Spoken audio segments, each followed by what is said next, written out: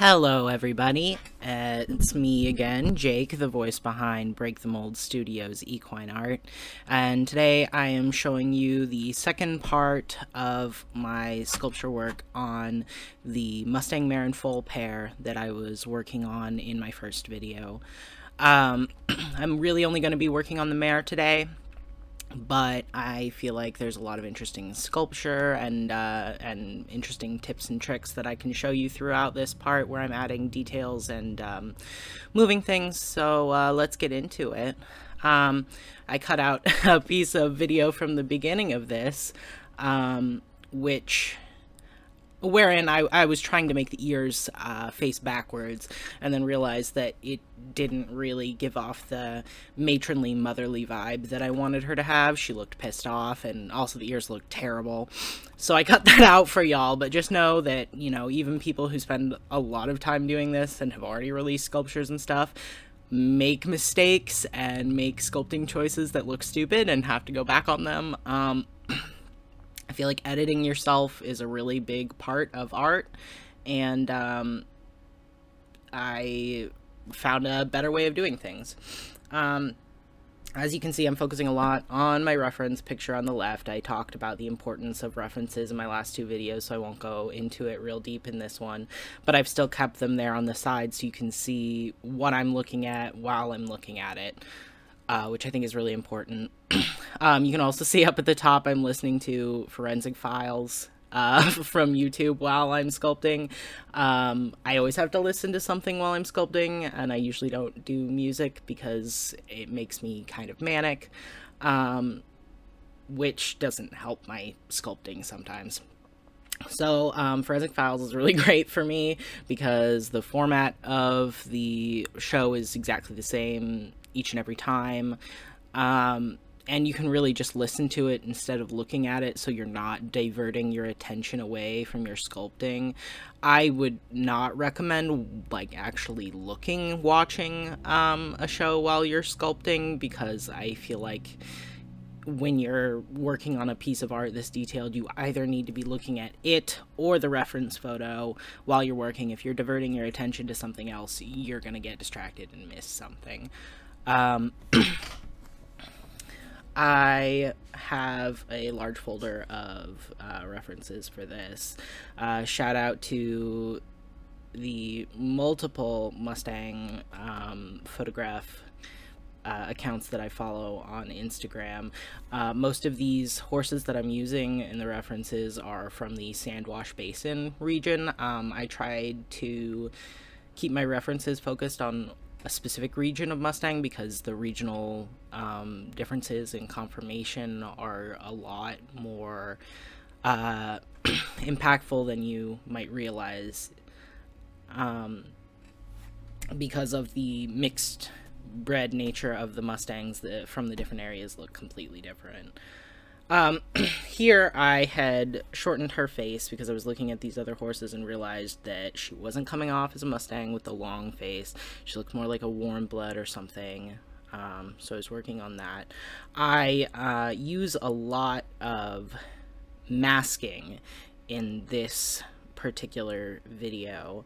Um, I think it's really important to mask off the areas that you're working on, um, in my opinion, especially if you're not rigging your model. Um, because it's very easy to stretch and pull something and accidentally pull something else and not notice it till later and not be able to use the back button and it sucks. You really have to be careful with your masking though because sometimes you'll accidentally mask something you didn't realize you did or not mask something you thought you did and um, it'll pull a weird part of the horse completely out of proportion and you'll have to go back and fix that and all that and it's really a pain in the ass.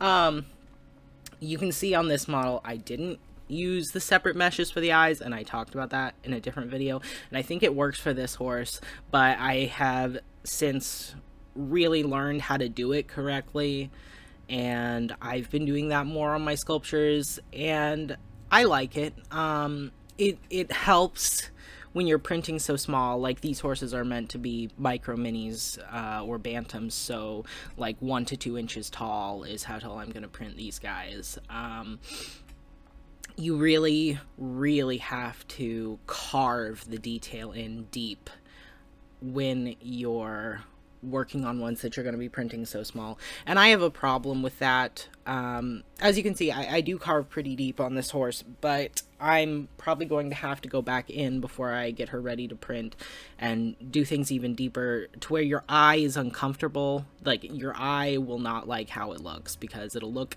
a little out of scale. But once you print it, you'll be like, oh, okay, this looks normal because um, on such small scales, the, the printer is slightly less accurate than it is on your screen, so it'll fill in those details a little bit. Um, on this part, I was having trouble picturing her face. And I realized that was because all the Mustang mares that I was looking at have these long forelocks that slope around the sides of their face and cover certain areas. So I decided to add one so that my eye could see this correctly. I usually don't do hair until the very last step of the horse, and I didn't put a mane or tail on this um, yet. Uh, but I actually don't like how I did this forelock. Um, I was working on uh, my newest sculpture, Brontes, a while ago, and um, actually scrapped his entire mane and tail that I had put on originally because I wasn't happy with it and redid them and they look so much better. Um, I had been using the pull tool and um, the uh, the draw tool, just the regular round draw tool, um, to add in hair, and it was just not cooperating with me well. I've since learned that um, I like the elastic deform, or I, I, I, don't know if I'm saying the correct one, but the little swirly one underneath the um, tool I have selected currently on the screen. That one I find is best for um, doing hair because you can just freeform pull the mesh um, into a spaghetti shape to make it into the hair. You do have to remesh before you really mess with it, or else um, the polygons will be really triangulated and sharp. Um, and you don't want that because you don't get as much detail that way. Um, here I'm paying attention to the mare on the screen, the way she's holding her legs um, with the knees slightly pointed in. That's actually a, a conformation flaw of the horse. Um, but I want to show realism in this sculpture and not perfection. So I copy the stance of the mare. That actually might be because she's just had a foal and has been pregnant for a really long time. Um, but I, I like the little touches like that. It makes them seem real and less plasticky. Um, but at any rate, this mare doesn't end up just standing on all four feet anyway. So I did do adjusting after that. This is just so that I get the right idea. I still have um, uh, X-axis mirroring on at the moment. Uh, and I will keep that until I have my base details of the horse in, all the way up until I start posing it. That way you get um, really symmetrical and even sides of the horse, and that's what you want. Uh, I wanted to post another video and work on this, even though I should be working on stuff that makes me money, because I have been getting a couple comments on my Instagram and Facebook pages lately. Uh, people saying stuff like, I don't like the way that that looks, hand sculpted stuff looks better, or other people saying, you know, uh, nice, but that's not really art because you did it digitally and you just mocked it up in CAD or something and, uh, you know, made the, uh, remesh the polygons, made them more numerous and then just you know added the details on the horse. But that's not what i do. Um and you know i don't want to be argumentative or bitter about any of it but i really feel like this is an art form especially for me. I do this because i love it. Um not because i want to be famous in the hobby or you know want to make a lot of money. I don't make enough money on this to really um, have it be worth all the effort that I put into it. I do this because I love it, and I do this because I like to create a character, you know? When I'm working on these horses, they have personalities in my brain, and I just work on them until I feel like those personalities come out of them. And I'm going to show a little bit of how I do that on this mare um, while we're doing the posing because it's really, really important to have an idea of the, the temperature of the horse and the way that the horse would move um, when you're posing them. Oh, I'm just being babbly today. but I, I hope that's okay. Um, here, I'm again looking at my references really closely, adjusting tiny little areas that don't look right. Her back legs look really weird right now, um, and that's because she is camped under. Um, that's what it's conformationally called. And it looks like I did it unintentionally and like the legs are bad but it was actually a conscious choice because the specific conformation flaw that I've seen a lot in Mustang mares. So I kept it. And once I pose the legs um, to be, I actually use the pose of the reference photo I have open right now. Then I, uh, th then you really see how it works with the way that the horse on the left looks. And now I'm starting the process of masking and um, moving the limbs. I've turned X mirroring off at this point. Um, I added basic details onto everything. Uh, the legs are not as dry and as detailed as I'd like them to be at this point, but that's because out of everything that you move, the legs will get messed up the most when you're using this method.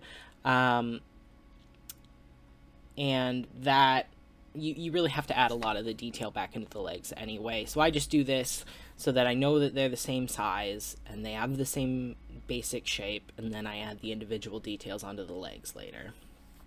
Notice that I am only ever moving these body parts at junctions where they would move on an actual horse. I'm not going to bend it in the middle of the leg, that'll look weird.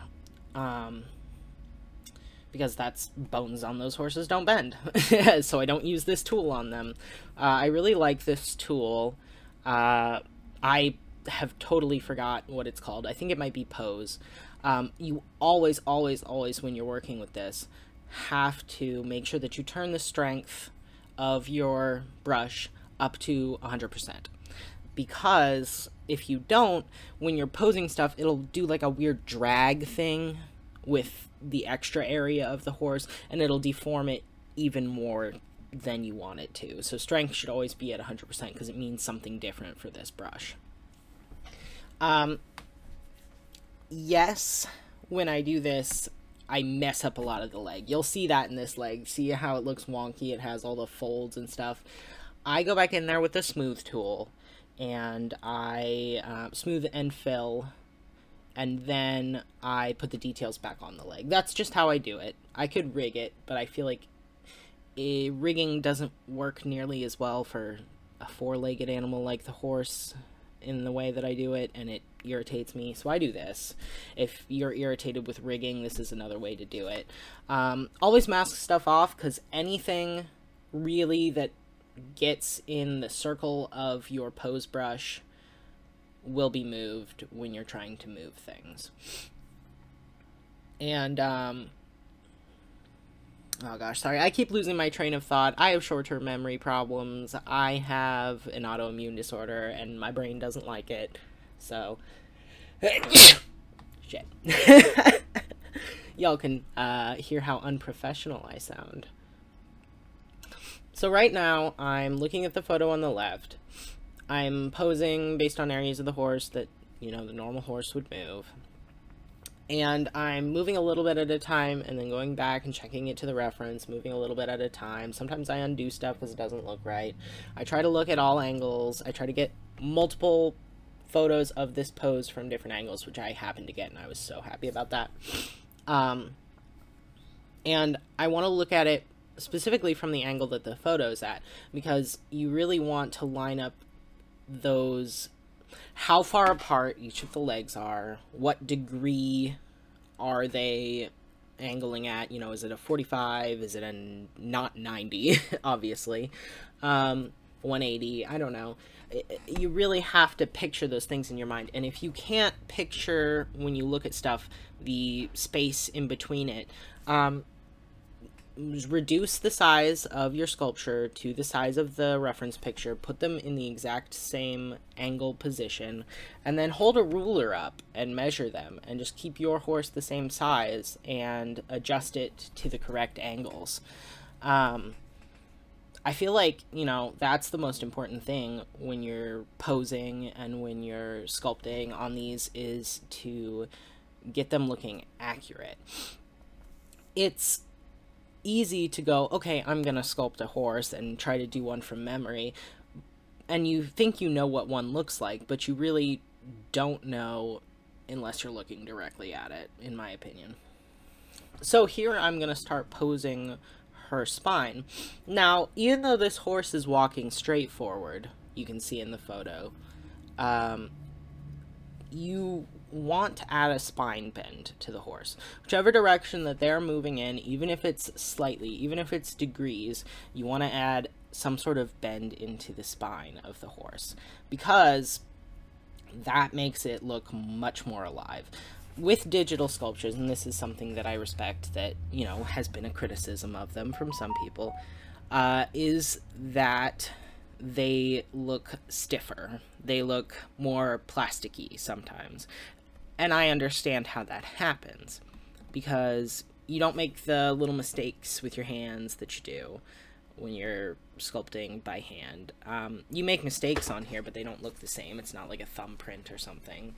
It's not like um, a carve mark or something that gives it, you know, a life. Um, so you have to add that in there intentionally. You have to make the person believe that this is something with life in it, character, um, and adding the bend in the spine, adding a swoop of the hair, adding a little twitch to the eyes or a nostril or some unevenness of the mouth, little lip hanging open, a little swish of the tail you know, tiny little details like veins and wrinkles on the nose, that's what adds life into sculptures like this.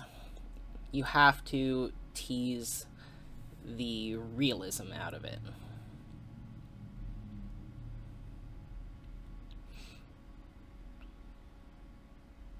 Here I'm working more on bending the spine. I'm moving the hips because I didn't feel like the hips were angled towards the body in the way that I saw them in the reference photos.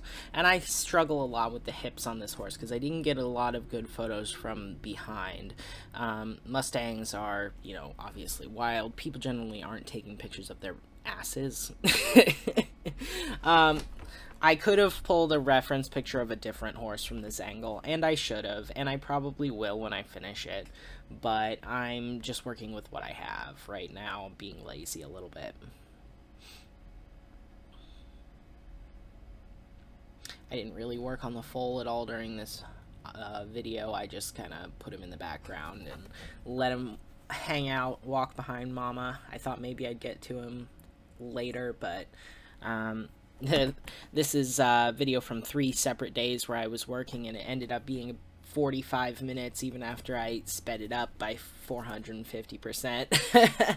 so um, this is probably about eight hours of sculpture maybe a little bit less than that, but it was it, it's a long time. Um, and there are some gaps in between where I like went to the restroom, got a snack, watched some TV or something, and then came back to it, of course. But uh, you know, for the most part, I kind of buckle down and and just sculpt something from beginning to end of my session. Um, I have to keep my head in the game.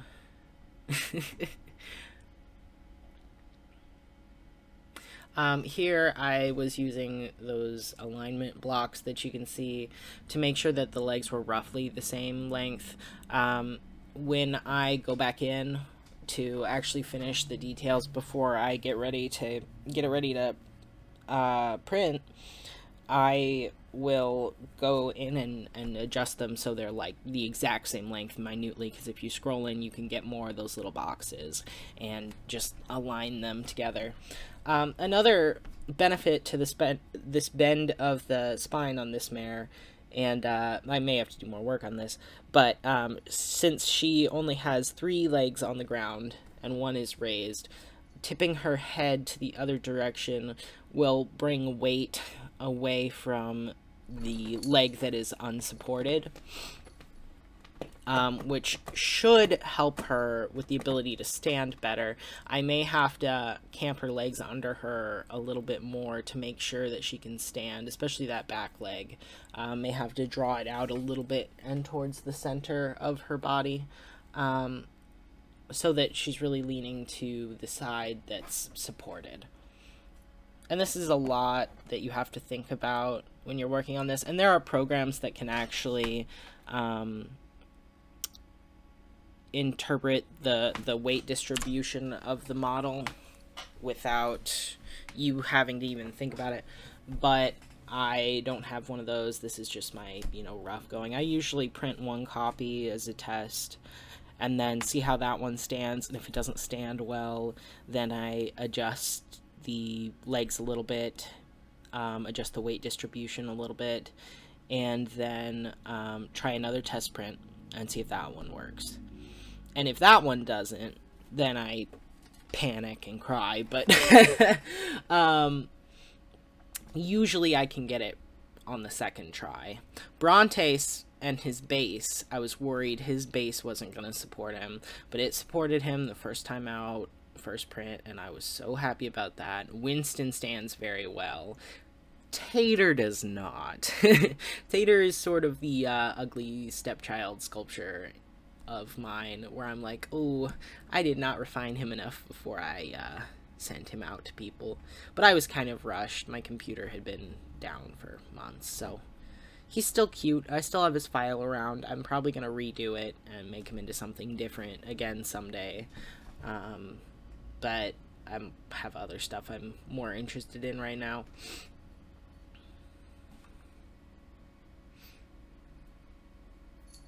Um, good golly. I, uh, I have mixed feelings about doing uh, videos like these. Um, you know, this is my livelihood, this is my life, I love it. And I like to share it with people. And probably two times a week I have some younger, well, not maybe younger, I'm young, but um, some newer hobbyists message me and go, hey, I love your sculptures. What sculpting program do you use? Um, what's it like? What printer do you have? I really want to get into this. And I love getting those comments or, or messages because it makes me happy that people feel like they can approach me and ask questions. I always try to be open and I always try to be helpful and friendly. But it also makes me feel a little obsolete. Um, there were a couple people doing printing when I first got into this, but the last year has just exploded with people doing digital sculptures and printing them and selling them. And it's wonderful because there are a lot of new sculpture artists in the hobby, a lot of new art to enjoy, a lot of different styles, a lot of new big names, you know. But at the same time, it feels like I have less of a, uh, uh, stranglehold on the market now, and so you get worried about being able to sell things and uh, being able to continue working. But I'm trying to be as open and as honest about my process as I can because I think that's just the right thing to do, you know. It's the right thing to be helpful and it's the right thing to be kind um, because you stop the careers of a lot of good artists if you don't help them when they're young you know? You want this hobby to keep going on and you want people to continue to love this artistry and you want people to respect your craft you know? Um, legitimizing digital sculpture has been a really great boon in the hobby i think. Um, and it really raises accessibility as well. Uh, a lot of people who wouldn't be able to afford other stuff are now getting great art because of um, digital sculpture and 3D printing and all of this. And I love that. I really, really love that. Um, so here, oh no, it's the next jump. Um, yes, here. I accidentally forgot to record about an hour of sculpting where I sculpted um, some little details on her veins and udders. And no, I did not intentionally not record me sculpting horse boobies. but, um, you know what? I'm sure that that will make a few people happy that they didn't have to watch me sculpt horse titties for 45 minutes. um, I try to start, strive for realism in my sculptures. So my horses have veins, my horses have wrinkles, my horses have genitals. Um, and I, yes, I do have a folder for, full of horse genital references. And I uh, always get teased about that by my friends and uh, partner. And uh, so.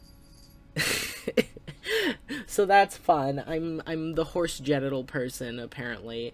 And no, it's not a thing that anyone should enjoy. Definitely not something that I enjoy. But uh, my stepsister likes to send me ads for horse dick shaped dildos just as a joke. And I'm like, Haley, you asshole. Sorry, if you're children, I apologize for this color commentary. This is who I am. um, here I'm doing the little hairs on the hooves. I always add those because it looks strange if the hoof capsule is just like flat going into the hoof. I think that looks weird. Even though I didn't hair the rest of the horse, I might go back and add some little fluffies in different places. Um, I do on the back of the feet because Mustangs generally have extra hair there. Um, but I don't love the way these hooves are gonna look. Uh, the bottoms are fine, uh, but the sides, the side walls, when you're sculpting micro minis, if you want the hoof to have texture, you have to basically make it look plaid and carve really deep into it.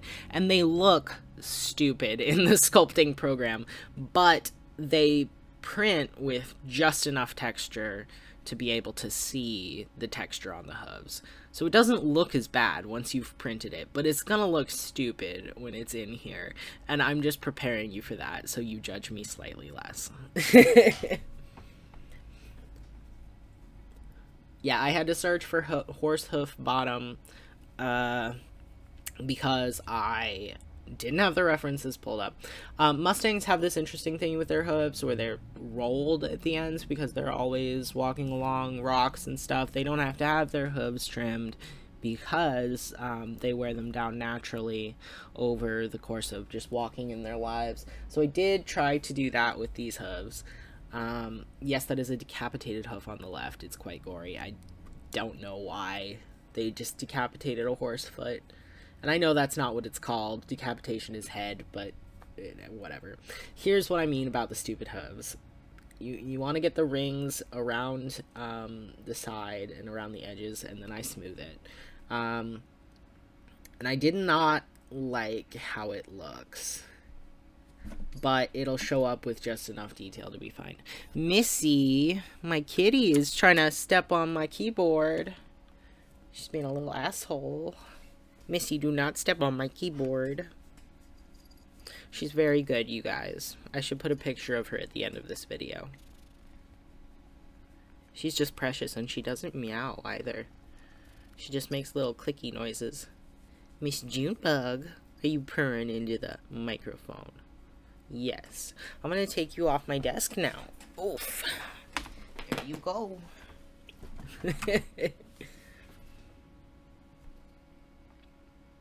And, um, you know, I continue to sculpt the bottoms of the hooves on ones that I want to be micro minis for whatever reason. Uh, the bottoms of the hooves almost never come out correctly because um, the way that the resin cures, um, when you're putting supports on the bottoms of the feet, it kind of traps the resin right underneath the feet. And so every time that the other layers get exposed to um, UV light, the little resin droplets that are caught underneath the hooves get exposed to, you know, that resin light, um, just slightly.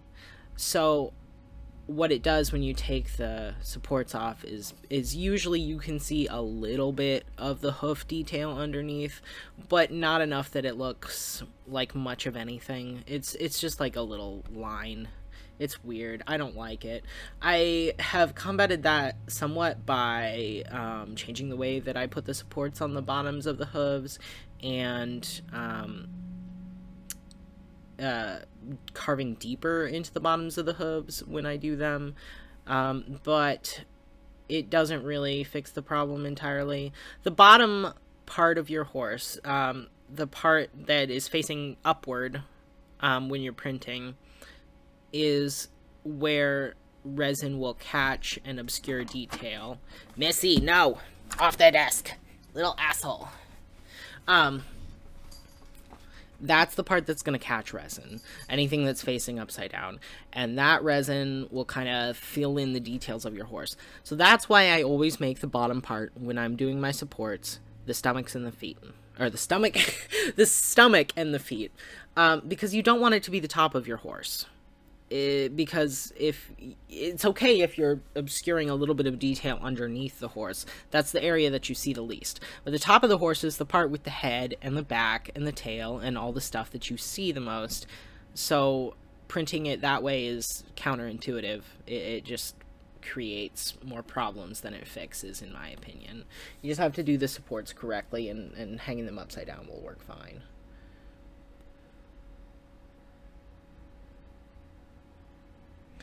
I'm sure the people who know nothing about 3D printing are like, what are you talking about? That's so weird.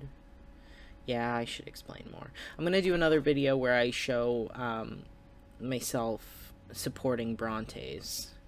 Um, I recorded that footage. I hope I got all of it. I can't remember.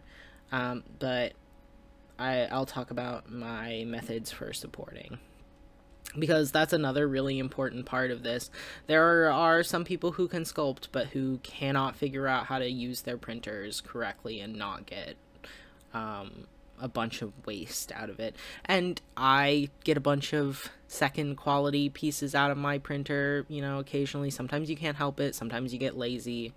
Sometimes you just forgot to clean the FEP and your stuff sticks to it and you look like an asshole for wasting resin. But, um, you know, it happens to everybody. You just have to be able to troubleshoot when you have issues. Um, and that's why I follow a lot of printer groups on Facebook. Um, I follow uh, 3D printing groups and then I follow uh, printer groups uh, that are specifically for the brands uh, and model printers that I have because each individual one will have um, triggers and issues and um, aspects that are individual to the printer that you have to troubleshoot and it's just really helpful to be able to ask a group of other people stuff like that I find Facebook to be really good for that. I'm not a big Facebook fan. Um, it's for old boomer moms, obviously. um, but there are some really, really good groups there. Um, there's even a 3D printing model horse group um, for people who like that. Um, and I find that to be really helpful.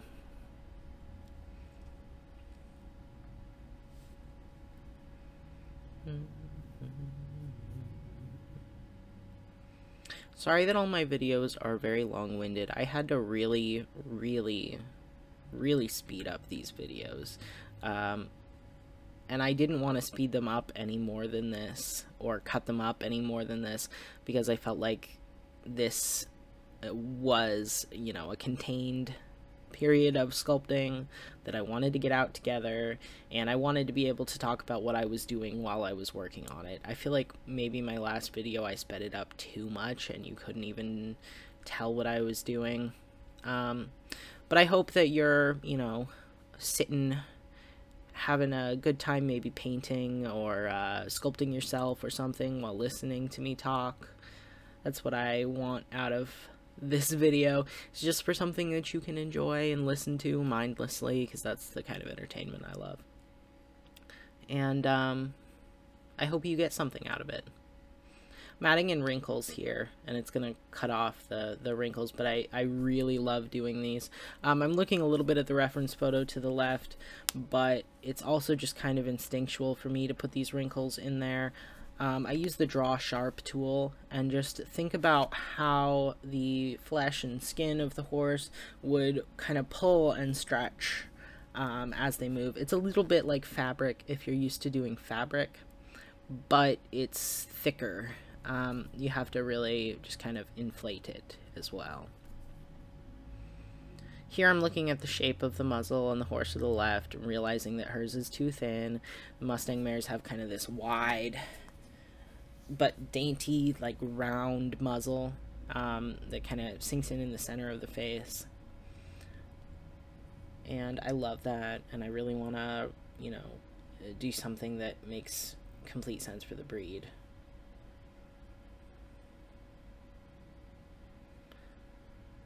And I'm going to tighten up the face a little bit too. Right now it looks kind of very smooth, kind of lumpy, um, kind of plasticky.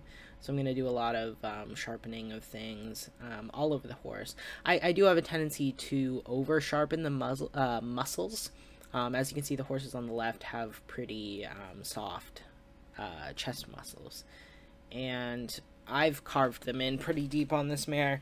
Um, but like I said again, I'm printing them quite small. You kind of have to with things like that, or they end up looking far too smooth once you've uh, finished them and are ready to print them.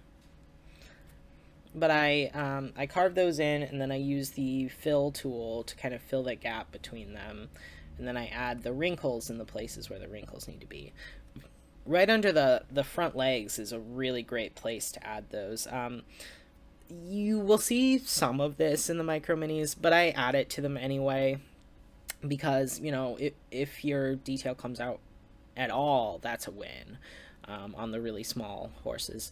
And then, you know, if you want to reuse the sculpture again, uh, do a stablemate or, you know, even a traditional size um, 1 9 scale, uh, you'll be glad that you already added those things because they will show up so much better in the larger sizes. And if I do end up going for a larger size with this mare as well, I will redo the texture on the hooves. I will actually, like, look at a damn hoof and do it right. um, same thing I'm talking about with these um, veins. They look far too visible here. Like, they look obvious and weird um, but you won't see them nearly as much once they're printed, especially since it's on the underbelly of the horse. They will look within scale then.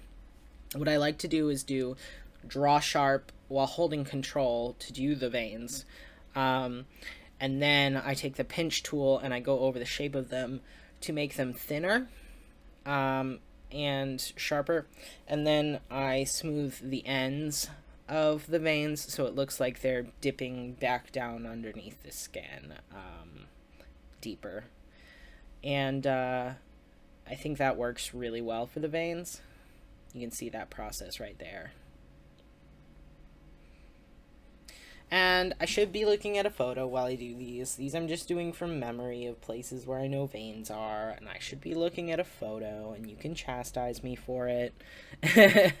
but they do match the other side that I did while I was looking at a reference photo. Um, that part of the video is cut out. I did one side of the horse um, with the veins while looking at the reference, um, especially on the belly and, and things. I, I looked at some actual pregnant mare stomach photos, uh, which you got to conveniently miss because I forgot to record that part of the video.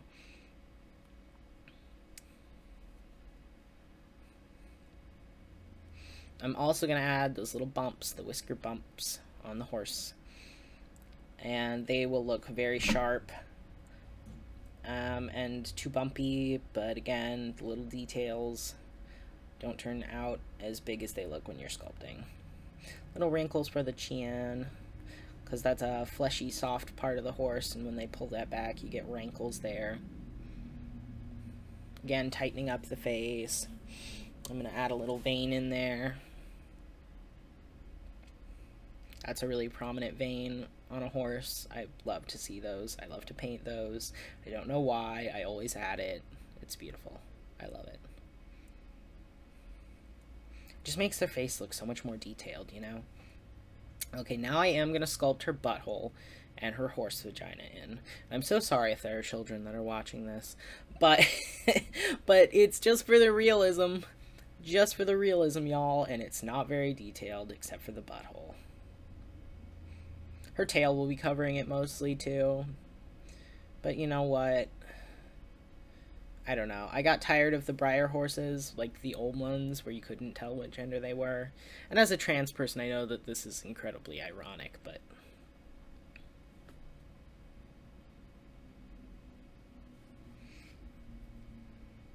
Here I'm looking at a reference for the leg fluffies that they get on the backs of their little legs. I love sculpting those in. They're a bitch to support because you have to support each individual spike by itself, basically. Um, so that's a bitch, but I love sculpting them. I used the little, you know, elastic deform tool and the grab tool to make those little spikes, and then I carve in with draw sharp, and then I uh, build up with draw sharp um, while holding control. Uh, when you're holding control with a brush, it inverts the brush, so it does the opposite of what it normally does. Um, and I find that really, really helpful.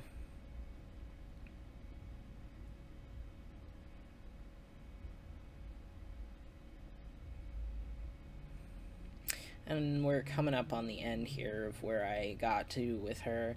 I still haven't finished her, still need to do the mane and tail, so there'll probably be another video about doing the mane and tail on her. Um, maybe finishing up the baby, but I, I might not record that.